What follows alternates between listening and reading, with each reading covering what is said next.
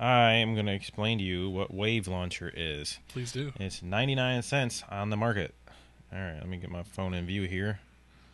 So, when you first open up Wave Launcher, I'm going to show you where it's like if it's in your app drawer or whatever.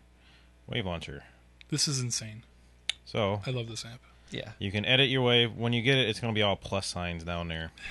And then I haven't had a need for the calibrate yet. You know what this is like? This is exactly like the Wave launcher on Pre. Yeah, that's, I think that's where they got it from. Uh, and then you can edit your wave. You can put whatever you want down there. I've chosen to use folders that are from another app.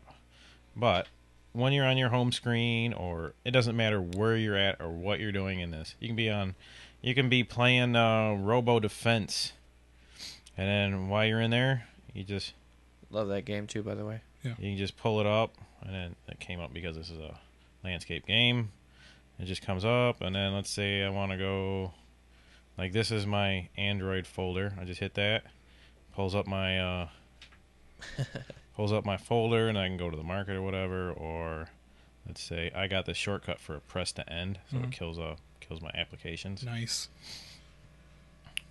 And let's see, you got my messaging. I can go there and then just switch to whatever I want. And then go from there and go to go back to Robo Defense if I want, or I go to my multimedia That really speeds things up. and go to Poweramp. So any anything anything I want, it just switches right back to it. Wow. And it's completely customizable. So you can put whatever whatever kind of shortcuts you want in there. It doesn't really matter.